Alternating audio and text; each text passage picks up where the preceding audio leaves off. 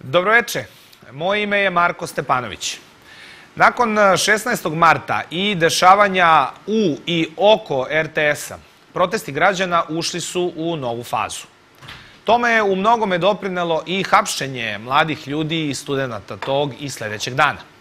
Kod većine građana to je izazvalo gnev. Pojavio se na mrežama i slogan Decu vam nećemo oprostiti. Šta se dešavalo te noći i narednih dana u pritvoru, ali i kada su ponovo bili slobodni i vratili se na ulicu, za razotkrivanje govore Stefan Novaković i Krsta Tomković. Vreme je za razotkrivanje.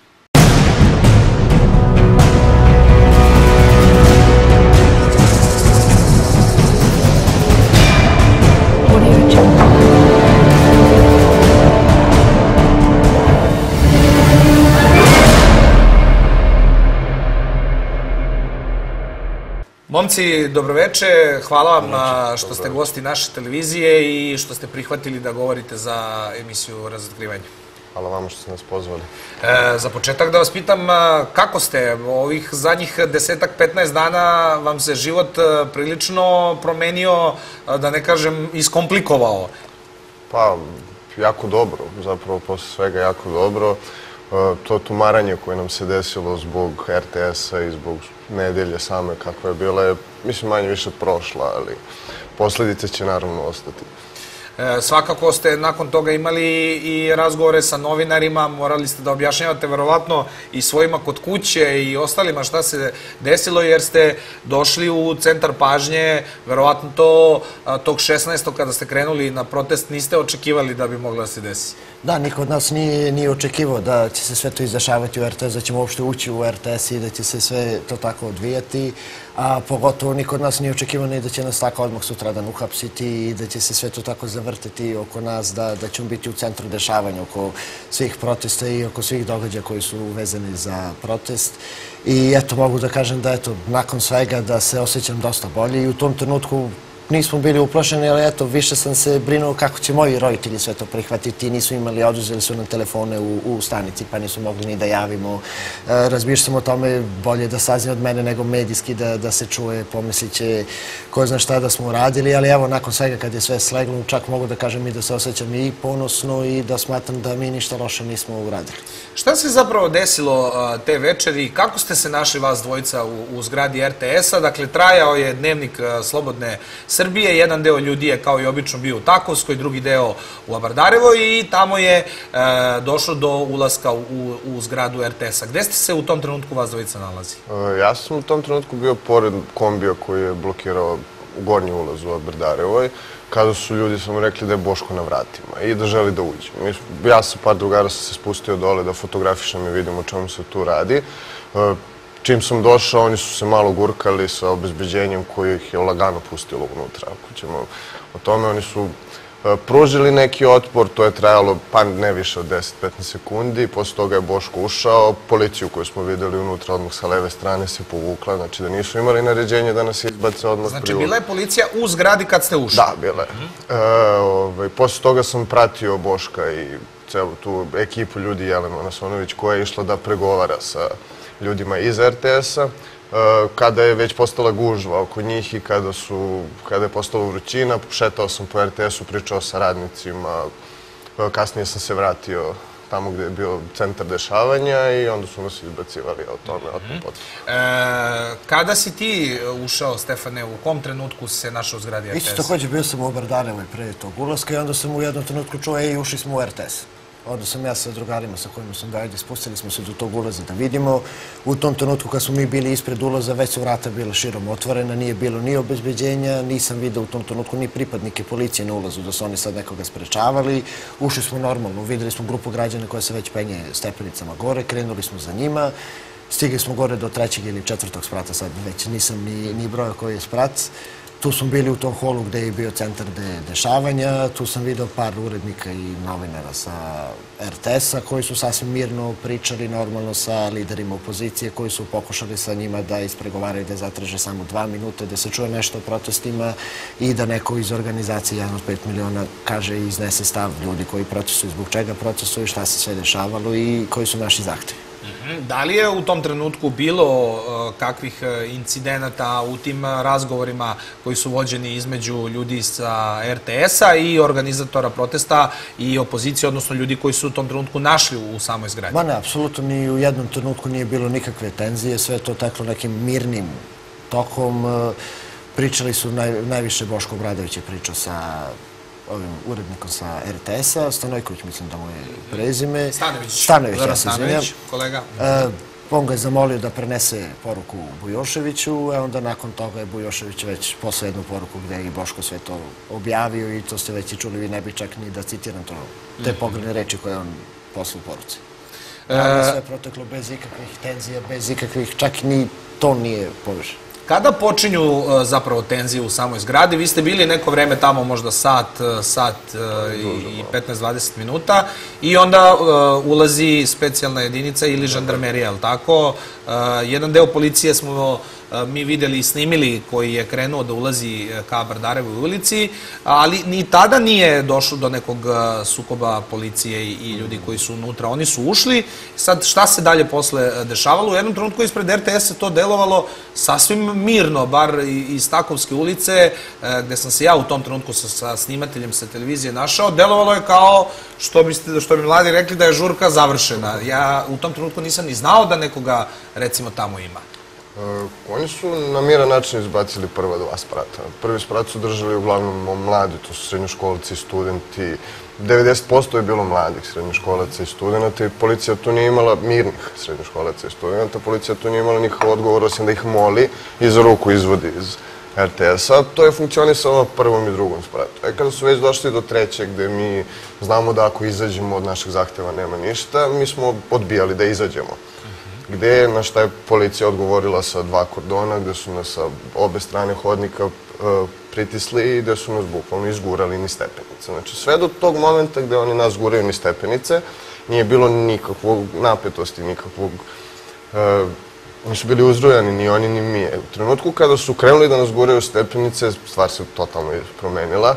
E, postali smo nervozni, prvenstveno mi, jer zašto bi nas pobogu neko gurao ni stepenice, a i policija koja nije želela nikoga da povredi, ali opet je neko insistirao da oni nas izbace. Mm Mislite da u jednom trenutku došlo naređenje da je vreme da, da vas izbacuju jednog po jednog isto? Da, i to pet minuta pre nego što su počeli silom da nas izbacuju, su nas obavestili da će oni nas bukvalno izgurati iz RTS-a. Mm -hmm. I u tom trenutku, dakle, dolazi i do nekih nemilih scena upravo na tim stepenicama, to smo posle mogli da vidimo na nekim snimcima koji su snimani ispred Abardareve, dakle, na, na, na prozorima zgrade gde su neki ljudi dosta teško prošli, dakle, bilo je, ovaj, može se reći, neke malo preterane sile od, od, od strane policije. Da li je većina, po vašem mišljenju, policajaca pokušavala da celu tu situaciju smiri i na jedan dostojanstven način reši, a možda ta neka manjina, imamo nekoliko snimaka, smo po mrežama videli gde jedan je udario pesnicom jednog momka koji stoji, dvojica onih koji tuku na stepeništu. Da li su to bili izolovani slučajevi? Kako se inače policija ponašala? Pa da, u trenutku prvo ušla interventna jedinica i to je sve onako bilo mirno. Oni su stojali su preko puta nas na nekom rasanju od pola metra, metar. E, čuli smo i dobili su informaciju od njih da će od 9 skrenuti da nas izbacuju. Oko 15 do 9, 10 do 9 je ušla žandarmerija. I nakon toga smo čuli na Motoroli, smo se onda već zbližili, oni su krenuli polako da nas pritiskaju, da kažem tako, da, da staju, da nas sužavi naš prostor kretanja. I čuli smo da imaju prolazno vreme 5 minuta da nas sve izbaci iz grade. Naša su mi rekli policajcima i pripadnicima žandarmerije da smo svi isti narod, da nema potrebe za, za silom, da smo tu došli na miran način da tražimo neke stvari i onda se desilo da su već postepeno krenuli da, da izbacuju ljude. E, to je bilo više, ajde da kažem, 80% policajaca je bilo, da vam kažem, na našoj strani, ali su bili za taj mirni postupak, dok je, ajde da kažemo, 20% njih bilo onako malo izrevoltirano prema nama, malo žustrije, to čist primjer mene u trenutku kada je povukao jedan pripadnik žandarmerije, pocepao mi je košulju i preletao sam dva stepenika, ali me drugi pripadnik policije zadržao dole baš da ne bi pao dalje. Tako da, eto, mogu da kažem da su zaista na neki način vodili račun o nama u većini, ali da je bilo baš ekstremnih slučajeva gde ste i sami videli na snimcima i ta prebijanja i malo veće upotrebe sile. E, kada je e, zgrada ispražnjena, protest je nastavljen ispred RTS-a do jednog trenutka dok nije odlučeno da će se protest nastaviti sutra ispred predsedništva u 12 sati, kada bude konferencija za medije Aleksandra Vučića i e, šta se dešava, dakle, to veče, da li ste vi e, imali od te večeri pa do sledećeg protesta već sutradan u podne nekakvu najavu da ste prekršili nešto i da biste eventualno mogli da budete uhapšeni kad dolazi taj trenutak kad vas policija privodi? Ajde. Tu noć uopšte nisam razmišljao o tome da će sutradan biti uhapšen. Čuo, da sam Otišao si kući najnormalnije. Da, čuo se sa drugarima da se nađemo oko pola 12 da idemo na ovaj protest u u 12 i uopšte niko nije ni razmišljao o tome da će neko od nas sutradan biti uhapšen. Svesan sam bio toga da kad smo ušli u zgradu RTS-a da sigurno će postojati možda neke posledice za to, ali da će to možda ići neka prekršajna prijava ili već da neće ići to do te mere. Međutim, onda je stvarno nedelje jutro i onda je Kako, kako je došlo do trenutka kad si uhapšen? E, da su pozvali telefonom i rečeno je, pošto sam ja inače iz Smedereva, da pošto mi je tamo prebivalište, da ne bi se izdavala poternica za nama, da se ne bi slale patrole kući kod roditelja, da dođemo sami i da damo izjavu. Znači nije rečeno da su mi gonjeni krivično ili prekršajno, da smo, da smo identifikovani na snimcima u RTS-u, jesmo, bili smo, i da dođemo da damo izjavu i onda ćemo biti procesuirani da smo se mislili da će se to odviti kroz par nedelje ili par meseci, sam taj proces na, na sudu. Otišli smo tamo ja, Nikola Dragoslavljević i Miloš Dekić. Kasnije su došli, mislim došli, doveli su Krstu i Miodraga, posle su tu prisizali redom i, i ostali momci i recimo do 3-4 i dalje to nama nije izgledalo da ćemo odmah biti procesuirani kod sudi. Međutim, tu sad ima jedan detalj gde su mi kasnije kad smo izašli videli scene ispred 29. da se oko 3-4 pojavio ministar policije. E sad, da li to na nekog izvršen pritisak da se nad nama hitno donesu određene presude i da se to procesuiranje ubrza, to je sad samo pretpostavka neka, ali do 3-4 je izgledalo, dali smo te izjave, čekali smo u hodniku dalje da vidimo šta će da se dešava. Što se tiče inspektora i policajaca u 29. zaista su bili najljubazniji prema nama i onda je od 3, pola 4 sve to krenulo po ubrzanom postupku da se dešava. Krsta, e, jesi li ti uopšte stigao do predsedništva i na taj protest u, u 12 e, ili e, si negde ranije uhapšen? Šta se zapravo dešavalo i kako si se ti našao u policiji? Pošto ni meni prebivalište nije u Beogradu, već u Aranđelovcu, ja sam na protest stigao i čak sam bio pa do, mislim da je do pola dva. Primetio sam policajca koji me prati od samog početka protesta, jer smo mi pokušali da blokiramo i auto koji izlazio iz predsedništva, dok su ljudi još dolazili. E, tu su pokušali da me uhapse, ja se sklonio u masu, masu i nastavio da obavljam ono što sam radi, što obično radim na protestima, to jest fotografišem. E, u jednom trenutku je stigla informacija da se stvara kordon kod Skupštine grada e, i da, se, da su tu došle dve hitne pomoći. Ja i Miodra, kojeg je malo prepomenuo, smo se malo odvojili, mislim ne baš malo, skoro do Skupštine grada i fotografisali to. Kako smo se okrenuli, tako su došla četvorica pripadnika javnog reda i mira, koji su nas o, odveli u Skupštinu grada, gde su nas držali neko određeno vreme, pa sigurno 15 minuta do pola sata, gde je bilo čak i policajaca koji su nas čuvali iz sindikata koji nas podržava, koji su bili, mislim, jako ne mogu da kažem tužni, ali nije bilo drago da što hapse demonstrante. E, kasnije su nas na zadnji izlaz izveli, to imate snimljeno, objavili su. E, odmah posle toga, moj baba i deda su saznali da sam uhapšen preko televizije. To, je, mislim, to nije bio baš lep moment. E, kasnije su nas odveli u 29. novembar na takozvani informativni razgovor u svojstvu građanina. Znači, ne optuženog, ne nekoga ko će te noći završiti u zatvoru. U, za, u samom 29. novembru su bili jako prijatni. Čas su nam dozvolili da gledamo demonstracije ispred.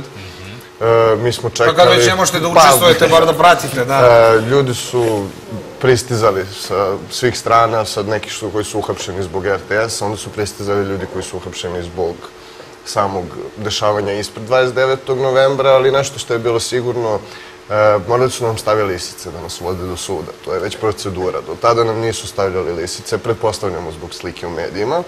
E, sačekali su da se završi protest, sačekali su još par sati da padne mrak, da ne bude više nikoga kod 29. novembra da bi nas proveli u, u sud. E, momak Pavle koji je osuđen tog dana popodne, ceo dan čekao nas i do uveče čekao u 29. novembru da ga opet neko ne bi uslikao sa lisicama. E, nakon toga, tu, tu noć kada je završen e, protest ispred e, predsedništva, dakle, gde ste, gde ste proveli? Gde vas je policija dalje e, sprovela? Dakle, ste tu noć proveli u 29. A, ne, ne. Mi smo do uveče bili u 29. novembru, onda smo otišli u, u Ustaničku prekšajni sud, gde smo imali jedno pa, kratko suđenje, jako kratko, e, posle čega smo Maricom preveženi u skelu. Dakle, e, već sledećeg dana e, ti si se našao u Padinskoj skeli, Da, tako? istu noć. Isto tu noć, da.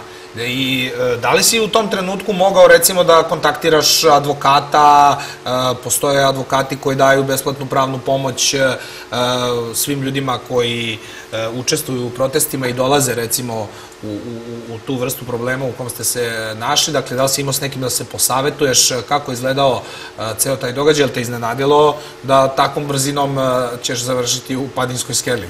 Pa, advokati su pristizali za hapšenima, pristizali su i advokati koji su slave naše organizacije, koje su, a, to su advokati koji su podržali proteste i koji su već tada ponudili besplatno pravnu pomoć svakome ko učestvuje u protestima i ko imao nekih problema sa zakonom zbog samih protesta.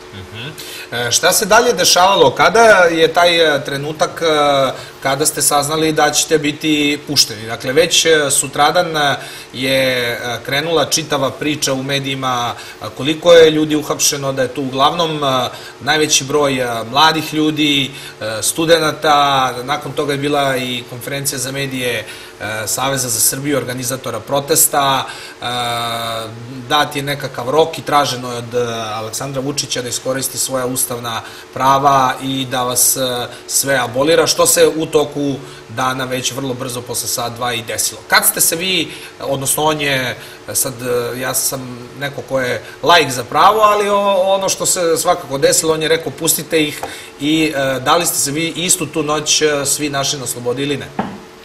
E, Pa oni su prvo objavili da ćemo mi biti abolirani, to jest da će prekršajni biti abolirani, a da će krivični, krivični ne. To je Kajron na, mislim, od dva bio koji smo mi videli u TV sali u pritvoru, to jest u zatvoru već. E, Pa ja sam već tog momenta znao da učestvujem u jednoj ogromnoj predstavi, da će nas on pustiti već sutradan, ne sud, da će nas on pustiti. E, tako da, mislim, od tog momenta smo mi totalno promenili raspoloženje. Verovali smo to da ćemo izaći posle tri dana i kada su nas provodili i kada nas pitaju e, koliko dana ostajete da potvrdimo, ono, mi kažemo tri, oni kažu pa nije nego 30. Mislim, Na osnovu čega si imao takav utisak da se to, ne, da će se to tako završiti baš? Pa u, u ovoj državi svaki politički proces koji pokreće Aleksandar Vučić je njegov mali šou. I sad, on ne bi imao neke koristi da mi tamo ležimo 30 dana, a da nas on pusti i da on ispadne jako veliki, fin gospodin, da, od toga ima velike koristi i ja sam verovao da će se to desiti. On je naravno po, po, svojoj praksi koja je već u, sedam godina je ponavljao, uradio isto što je radio uvek. Iskoristio je naše hapšenje za još jednu svoju predstavu. E, kada si ti, e, Stefane, našao na, na slobodi, koji je to trenutak i jesi li ti imao sličan utisak da je to deo nekakve e, predstave i da neće trajati e, mnogo dugo? Ja sam u nedelju uveče, pošto od nas 15-20 koliko nas je već bilo uhapšeno, njih petorice su dobili kaznu zatvora, mi ostali smo pušteni da se branimo sa slobode u redovnom postupku i tri momka su procesuirane u pritvor zbog krivičnih prekršaja. Pa sam imao možda malo bolju sliku s polja nego što su oni imali unutra. Malte ne, odmah u ponedljak je tu već meni počelo da se javlja da će on ih pustiti u narednih dan dva. Mi smo krenuli sa akcijama, sa pritiskom, bile konferencije za medije, kre, lepili smo slike, nalepnice sa njihovim slikama, zahtevali smo slobodu, onda su izašli srednjoškolci i gde on već video da je možda napravio pogrešan potes. E sad tu postoji jedan problem što većina Srbije veruje u to da je on njih abolirao. Mislim da on kao predsjednik e, nema pravo da abolira ljude koji su u prekršenom postupku, već Dakle, samo nisu u osuđeni, da. Nisu osuđeni, oni imaju prekršeni postupak i dobili su 30 dana zatvora za to. Tad on kao predsjednik je mogao da abolira samo one koji su u krivičnom postupku i po ustavu za to ima ovlašćenje. A za prekršeni ne. Sad, kao što je Krsta rekao, nažalost živimo u državi u kakvoj živimo, gde svaki politički proces u stvari jedna velika predstava i gde se oko svega diže fama i to je ono, dajte narodu hleba i gara. Ajde sad da pričamo o tome kako su oni huligani, kako su oni divljaci, kako su oni uhapšeni, a nakon toga kako se neko smilovo da sve nas oslobodi. I kako je postao veliki dobrotvar. To ti je kao ono, piromani i vatrogasac. To može da se, da se menja, dakle imali smo i najavu da će biti vojna parada za dan godišnjice bombardovanja, pa je odjednom pomerena za, za maj mesec, tako i ovo. Danas može da se uhapsi, sutra može da se pusti. Da, Zavisi sve ovaj, kako je raspoloženje e, tamo gde, gde treba da, jel, gde se donosi odluka, to je jedno mesto. E, kako su reagovali vaši e, najbliži, osim toga naravno što su bili uplašeni, to da, da i ne pitam za, za roditelje, baku, deku, braće, sestre, ali kako su reagovali vaši prijatelji, drugari e, i da li ste i vi u tom trenutku pomislili da ćete čim izađete nastaviti dalje sa protestima ili vas je to na neki način malo onako e, uzdrmalo? Pa, apsolutno sam bio, još dok sam u 29. bio, čim smo ušli tamo, ajde da kažemo, u 13 časova, ja sam bio siguran čim budem izašao odatle, krenut ćemo još jače. Jer videli smo da se desila jedna velika nepravda i da je to nešto, da smo mi samo primer koji uspio da izađe medijski, a da takvih primjera po Srbiji ima još na hiljade i na baš da, da se vrši velika nepravda ne samo nad ljudima koji su, da kažem, politički aktivni, već i na ljudima koji e, su uopšte neistomišljenici sa našim režimom.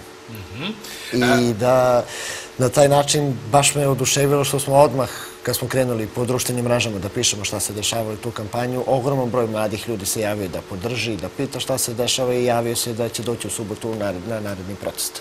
Da je to Krsta i bio neki okidač od početka protesta se stalno pričalo kako su tu uglavnom ljudi srednje generacije, recimo od mojih godina, dakle 40 pa na više ili malo mlađi, 30 pa nadalje, ali da nam fali u tim protestima i taj deo e, mladih ljudi, studenta od 19 godina pa, pa nadalje.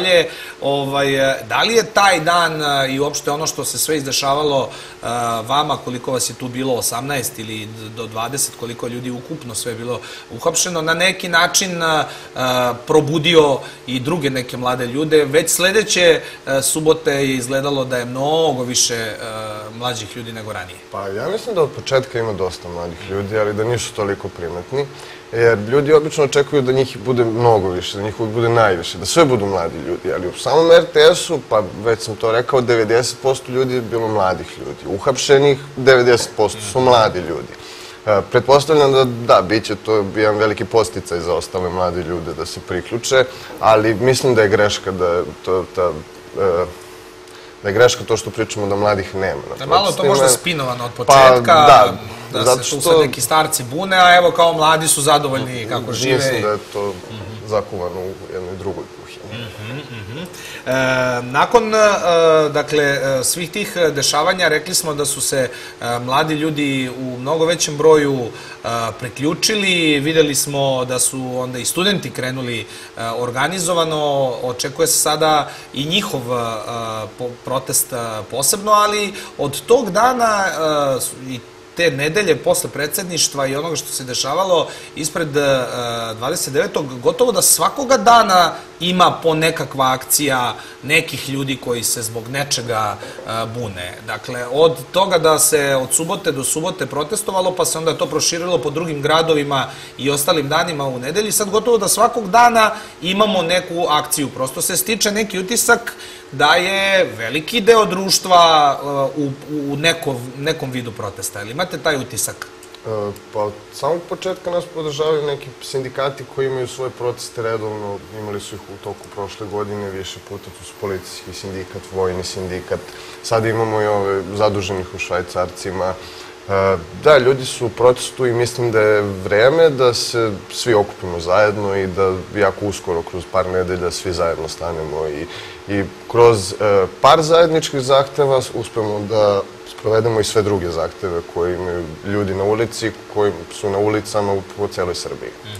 Ne- od negde oko 1564, ta, tačan, Pa, tačan tako broj. su izbrojali. Ovaj, dobro.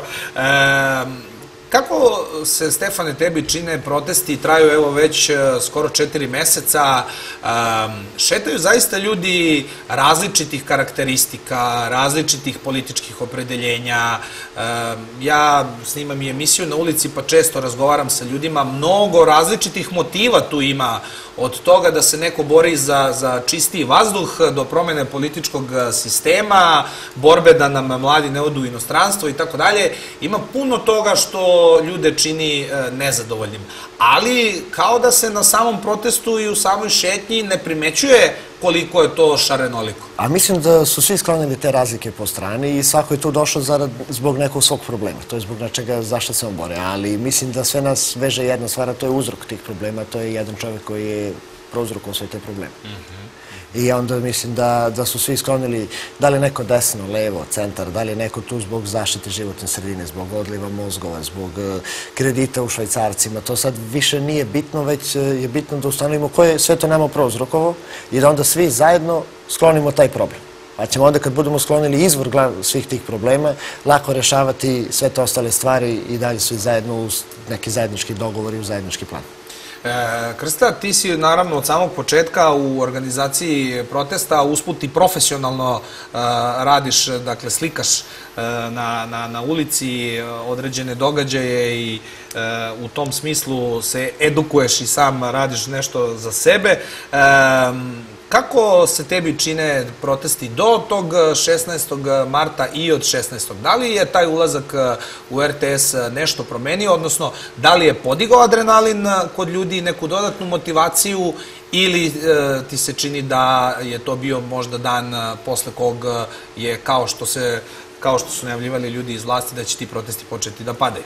Pa, dokaz da nisu počeli da padaju je prethodna subota, dokaz da nismo huligani je takođe prethodna subota, to je bio jedan prelep, možda i najlepši do sada, miran protest, gde smo uh, naprosto odlučili da podržimo i ljude koji su bili zaduženi u, u švaj, švajcarskim, u švaj, švajcarcima, koji su nas jako lepo i fino dočekali, koji su nas u suzama dočekali, jer im je bilo neverovatno da sad neke hiljade ljudi dolazi zbog njihovog problema. E, mislim da p- ovo jeste bila prekretnica sa jedne strane jer je RTS imao 10 minuta u dnevniku o protestima. I njihov argument da mi nismo trebali upasti malo pada u vodu njihovim drugim argumentima, nas puštaju 10 minuta posle upada. E, Da upasti nije trebalo na taj način, to se ja naravno slažem, polupati jedna vrata nije trebalo i moglo je proći bez toga i sve bi bilo isto i bez toga. Ali e, da protesti nisu propali i da neće propasti, ovaj, nam je samo govori ovaj prethodni protest i najave sledećih protesta i akcije koje najavljuju studenti. Imamo već studente filozofskog koji najavljuju svakodnevne akcije eh, ovaj, do samog 6. aprila kada će biti studentski protest u, eh, u Beogradu, u studentskom gradu. E, definitivno i taj izlazak e, studenta se nekako dugo čekao i stalno ljudi koji su recimo, a svi mi smo to prolazili, nažalost, evo već e, neki od ljudi 30 godina, ja 20, neki malo manje, ali stalno smo u tom nekom začaranom krugu i od 96. 7. pa i preko 2000. godine pa sada i 2017. uvek su nekako studenti ti koji e, treba, bar svi mi tako mislimo, da, da povuku napred, jer bez njihove energije i kreativnosti i bez te mladosti teško da može da se postigne e, nekakav rezultat. I kao da se dugo čekalo na taj trenutak kada će i studenti sami krenuti u, u neke akcije. I sada je to počelo. Kako će to, Stefane, po tvojom mišljenju, e, uticati na opštu atmosferu oko protesta? Pa, poslaće jednu pozitivnu sliku, jer e, i od početka samih protesta bilo je mladih, ali mislim da je nešto falilo da aktivira njihovu energiju. I sad samim tim su oni ukapirali kad su vidjeli da su mi uhapšeni, da je to svako od njih mogao da se nađe u tom RTS-u i da bude isto procesuiran i onda je e, osetio direktno, se povezao sa nama i pomislio da sutradan može on biti uhapšen. Zbog nečeg samo što je želeo da izrazi svoje mišljenje ili da traži nešto, neke svoje zahteve da se ispune, da traži dva minuta na tom RTS-u. Sutradan će biti nešto drugo, sutradan mogu da nas uhapse ako tražimo fer i korektni izbor. Sutradan mi kao studenti možemo da kažemo želimo da pomognemo u sređivanju biračkog spiska, pa može neko da te uhapsi zbog toga što želiš da pomogneš da se taj proces ubrza. Više ne znaš da li ćeš biti uhapšen ako želiš da radiš dobru stvar ili ako samo ćutiš. I onda su ljudi ukapirali da jednostavno da je sad taj trenutak ili ili. Ili ćemo izaći na ulici i prelomiti tu stvar u našu korist, ili ćemo jednostavno kao mladi izgubiti sav optimizam u nama. E, U kom pravcu e, očekujete da idu dalje protesti? Dakle, e, sada 30. je subota, posle toga 6. protestuju studenti, e, već su to najavili i za 13. april je najavljen taj veliki skup gde će e, sa svih e, 100 i više mesta u Srbiji gde ljudi protestuju se skupiti u, u Beogradu. E, Šta očekujete da se desi taj dan i naravno do tog dana da li će ipak u nekom trenutku e, ljudi iz vlasti povući neki korak kako bi to e, zaustavili i izaći u susret e, protest, ljudima koji protestuju, oni najavljuju da od toga nema ništa i da neće razgovarati kao što nisu ni do sada. Šta bi to onda moglo da proizvede dalje? Pa, ono što, se ja lično nadam da će ta studentska šetnja i taj 6. april prouzrokovati e, aktivizam studenta koji će dovesti do građanske neposlušnosti. Jer stvarno neće Aleksandar Vučić niti ova vlast neće uraditi ništa ako naš odgovor ne bude jak. Jak odgovor nije samo šetnja, jak odgovor čak i nije samo da se okupimo. E, mislim da je jak odgovor da tu ostanemo i izdržimo do kraja. E, šta je kraj, to se moramo dogovoriti. Sa ljudima koji dođu, jer kada e, neko ko 13. aprila izađe i predloži nešto, ljudi će ili ostati i boriti se za to do kraja, ili će prosto otići kućama i reći dobro, vidimo se sledeće subote. E, da li će taj 13. april, ako baš tako prođe i ne desi se ništa e, novo, odnosno to bude još jedno okupljanje, e, značiti da zapravo ne mogu da se izguraju ti zahtevi koje opozicija i ljudi iz protesta su predstavili, odnosno postavili pred, pred vlast. A čuli smo predsednika države koji kaže da nema razgovora oko toga. Doduše, on pominje neke građane s kojima bi razgovarao, ali neće baš sa svakim. Pa, očigledno sa podobnim razgovara, sa nepodobnima ne, ne razgovara po njega. E, mislim da taj 13 je stavljen kao ta prelomna tačka, ali opet šta god da se uradilo 13. da mi nismo završili taj posao. Da li, smo, da on 13. ispunio te neke zahteve, to će biti samo jedna mala pobjeda, jer opet ceo sistem treba da se menja. Nije to samo problem u, u Aleksandru Vučiću i da tražimo da on raspiše slobodni izbor. Mi prvo treba da uputimo građane šta znači sam izborni proces. Da on može da raspiše medijski i da kaže to su slobodni izbori, ako opet postoje štampani štampane verzije biračkih spiskova, ako opet tu postoje metodologije poput e, bugarskog voza, poput e, džipova bez tablica, mi ništa time nismo postigli. Mi moramo da a, podignemo svest ljudi e, do te mere da oni budu svesni tog dana. Kad god bili ti izbori, da su ti izbori u nelegalni, ako u bilo kom trenutku oni vide nekog sumnjivog oko biračkog mesta, oko biračkog mesta, ako vide neki, nekoliko džipova oko biračkog mesta, ako e, ta komisija na biračkom mestu e, ne bude sačinjena od kvalitetnih ljudi koji će, pošto dosta ljudi ne može da dođe do biračkog mesta, pa, pa se onda ide po kućama da, da oni glasaju, tu postoji mnogo prostora za malverzaciju. Najpre moramo na te najsitnije stvari da obratimo i onda da kažemo ok, raspisao si fair i korektni izbor. To što će neko srediti birački spisak ne znači da on neće kupovati glasove. Mm -hmm. E, mi smo e, imali od 2000. do 2012. E, barem e, tu tekovinu e, smo nekako uspeli da uspostavimo, a to je da se niko nije žalio na, na izborne uslove, pa ni na rezultate izbora i tako dalje, sve do, do tog drugog kruga, recimo u kojem je Tomislav Nikolić pobedio Borisa Tadića, pa su bili oni džakovi sa listićima, ako se sećate, ali do tada smo na izbore išli prilično rasterećeno, bar koliko se ja sećam, nešto se nismo mnogo time bavili, pratili smo kampanju, odemo, glasamo i uveče ispratimo rezultate, od ponedeljka ujutru život ide, život ide dalje. E, šta se to sad e, desilo u, u međuvremenu, pa da, e, eto, postoji nekakav problem e, da se ti izbori sprovedu na jedan regularan način, pritom e, se vlast stalno brani činjenicom, kaže, pa to su sve uveli ovi pre nas, ovaj, to je bilo i do 2012. tako. E, Pa ja lično mislim da je baš to problem, pratili smo kampanju. Imali smo šta da pratimo, dok danas nema kampanje, nema medija nacionalnih na kojima svaki čovek koji koristi najjeftinije načine informisanja može da prati kampanju. E, Danas da bi pratili neku opoziciju morate da posjetujete neke uređaje koji nisu svuda dostupni, nisu dostupni na teritoriji cele države, a, dok je to nekada bilo mnogo drugačije. Mislim da e, većina problema leži baš u toj uzurpiranosti nacionalnih frekvencija. Mhm, Dakle, medijske slobode su ono što negde jeste među, među prvim a, zahtevima opozicije i, i, ljudi koji su u organizaciji a, protesta. Da li tu može doći do, do nekakvog rešenja? Čak je a, nekoliko dana nakon ovih dešavanja oko vas Aleksandar Vučić rekao spreman sam da otvorim temu RTS-a Iako smo u toj noći čuli e, generalnog direktora koji kaže javni servis je nezavistan i sam pravi svoju programsku šemu. Šta znači to spreman sam da otvorim e, temu RTS? Pa možda opet spreman na neki monolog.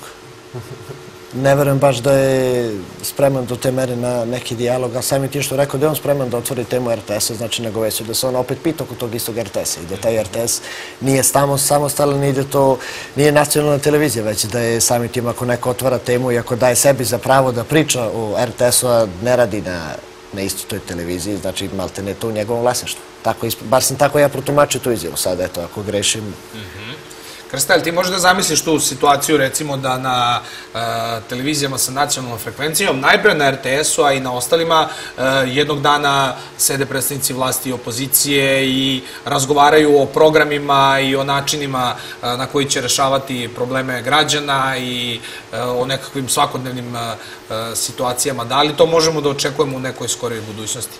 Pa na nekim sklonjenim televizijama možda, na nacionalnoj frekvenciji to nema od kad nas dvojica imamo pravo glasa. Znači, mi imamo pravo glasa nekih pet godina, pretpostavljam i ti isto. Za pet godina mi nismo videli ni jedan pravi politički duel. E, tako da, mislim, verujem da, ali sa sadašnjim režimom ne. Šta je po vama onda rešenje? Dakle, vlast neće da razgovara i na neki način unižava i broj prisutnih, sad već je taj epitet nasilnika stalno se, se lepi, pa se to ponavlja, pa po, kad se hiljadu puta ponovi, onda će da, Da. da, postane istina, da su protesti nasilni, da je to šaka nekih ljudi, šačica ovaj, koja tu nešto traži, da je to manjina u društvu i e, da ne treba sad ta, kako kažu, agresivna manjina da teroriše ovu neku pristojnu e, većinu koju, koja glasa i za, za, za vlast. Kako onda doći do, do tog rešenja? Takođe, koliko sam shvatio i ljudi iz protesta, kao i ljudi iz opozicijalnih stranaka, nisu ni oni pokazali sad želju da razgovaraju e, sa, sa e, predstavnicima vlasti, odnosno traže da se te stvari sređuju, ne da ih rešava predsednik države, nego institucije koje su za to nadležne. E, Pa, mislim da je najbitnije da e, opozicija u ovom slučaju, a i ljudi na ulici, e, postanu jedan mehanizam za kontrolisanje toga šta će vlast provesti do narednih izbora, do narednog procesa na kome ćemo tek tada moći da odlučimo da li ćemo učestvovati, da li ćemo glasati, bojkotovati, učestvovati kao neke stranke ili organizacije, ali da E, mislim, jedino što opozicija ili što uopšte ljudi na ulici mogu je da traže od vlasti i da, da im vlast omogući način na koji će ona njih kontrolisati u tome što oni sprovode. Da li će opozicija uspeti da iskontroliše naredne izbore, ja to ne znam, ali se nadam da će pokušati i da će to odraditi na najvećem mogućem nivou.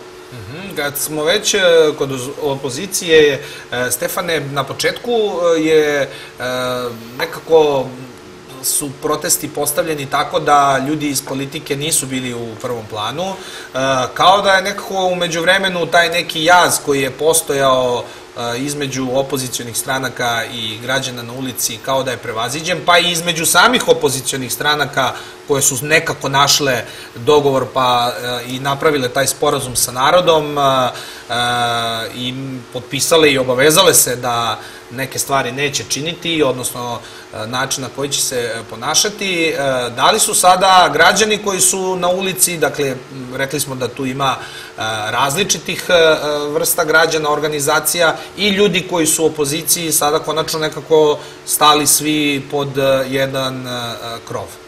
Pa da, takav utisak ostaje. Recimo, od početka protesta zaista je postojao neki jaz. E sad, da li je to zato što je narod mislio, ah, oni su političari pa su na višem nivou, da li su onda možda oni mislili, e, mi smo nekad ranije bili nešto pa smo sad malo bitniji od običnih građana, e, ali je postojala neka razlika. Međutim, e, kako su se protesti odvijali, e, najpre je došlo do ujedinjenja tih e, stranaka koji su u opoziciji i samim tim su prevazišli te njihove razlike i onda su doneli tu zajedničku platformu. Narod je to prihvatio ili ne, ima određen broj ljudi koji je potpisao. E, nakon toga krenuli su događaji da se dešavaju poput naše hapšenja, poput e, pretnji od strane režima na običnim građanima i onda je, e, bukvalno su svi pronašli da smo svi u jednom istom problemu. Da isti problem pogađa i lidera neke stranke, a i da isti problem muči mene kao običnog studenta i građana. I samim tim smo se svi spojili i čak i u budućnosti ove ostale neke političke opcije koje nisu u protestima ili koji se razmišljaju da li treba da se uključe. Mislim da je cela Srbija koja ne podržava Aleksandra Vučića opozicija. I da svi tako trebamo da stanemo po tim jednom da su svi mi opozicija, a onda nakon toga kad se budemo, kad budemo uspostavili neki sistem i kad bude ovaj režim otišao, onda možemo da se delimo pa da svako posle zastupa svoju politiku. To je onda nekakva To je onda regularna posle politička regularna, utakmica, da, da svako ima pravo da izrazi da li on e, orijentisan desno, levo, da li je demokrata, da li je e, desničar, da li je samo predstavnik nekog građanskog fronta ili građanske organizacije ili inicijative mladih, tada će svako imati e, priliku da iznese ono što misli i kaže da ćemo imati neko uređeno i demokratsko društvo. Ali do tada mislim da svi moramo zajedno da se držimo jer svi imamo jedan problem. Da li e, na neki način ovo, ovi protesti e, motivišu i e, mnogo više angažuju mlade ljude da se uključe u samu politiku do pre samo 6-7 meseci kada razgovarate sa nekim ko je i vaših godina ili, ili mlađi, on kaže, ma kako to mene ne interesuje, znam već ja kako funkcioniše politika u Srbiji, ja ću završim faks, naučim dva jezika i odoh ja dalje, a vi ovde na Balkanu vidite šta ćete, što je potpuno legitiman stav kad se pogleda šta smo sve preživeli u poslednjih 30 godina. Međutim, kao da sada to se negde primećuje i na, na skupovima i u šetnji, da mladi ljudi mnogo više iskazuju želju da se uključe u samu politiku.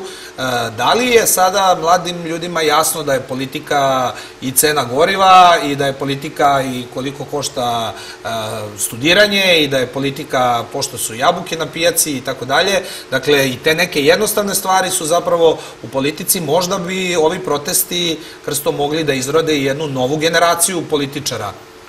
Pa svakako izgradit će novu generaciju političara, ali nešto meni smeta je što e, studente uopšte dele na ljude koji žele da ostanu i da se bore ili ne i ljude koji je plan da odu. A niko ne gleda onu treću stranu koja želi da ode u slučaju da ne može ništa da promeni. Sam zapravo, pošto sam sada otvorio... Kojih je verovatno i najviše. Pa da, kojih je najviše među kojima i mi pripadamo. E, koji, e, njim- njima se svako im daje nadu, ovi protesti im daju nadu da će se nešto promeniti i sve dok je tako oni neće otići. I oni će se aktivirati kroz neke akcije ili kroz sam protest.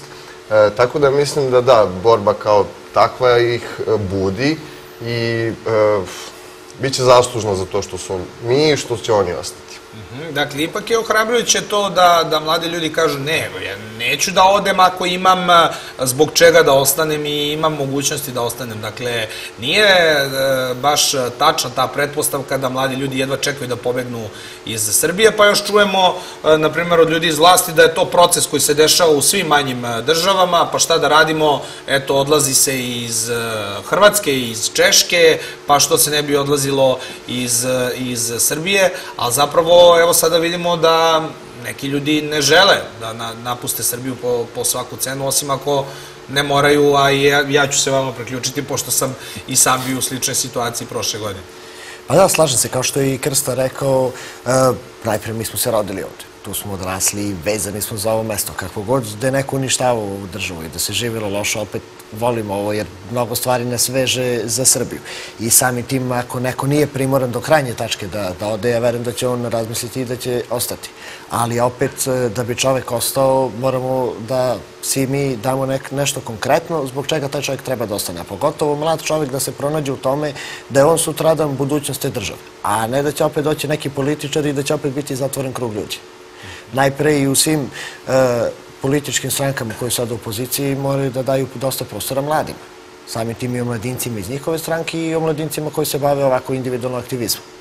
Jer samim tim, ukoliko mladi ljudi budu vidjeli da ima prostora da se neko brine za njih, e, da im pomaže da oni razviju još više svoje obrazovanje, da neko investira u obrazovanje, u zdravstvo, a ne da se čeka po godinu, dve na neke operacije kao što je sad trenutno situacija. Onda čovjek razmisli ukoliko ja ostanem sad dok je ova vlast ovde, da će moći uopšte da prvo brinemo o svom zdravstvu, pa onda o svojoj egzistenciji i onda razmišlja da ode u inostranstvo. Ukoliko on bude im uređen neki sistem i da kaže, ok, imam kvalitetno obrazovanje, imam kvalitetno zdravstvo, imam dobru ekonomiju, imam prostora da se sam gradim, da li u nekoj državnoj firmi, da li u privatnoj firmi, imam prostora da napredujem u svojoj karijeri, nemam neko ko će me sputati jer mu neće odgovarati neko ko ima svoje mišljenje i svoj stav, normalno da će svaka mlada osoba ostati u toj situaciji. -hmm.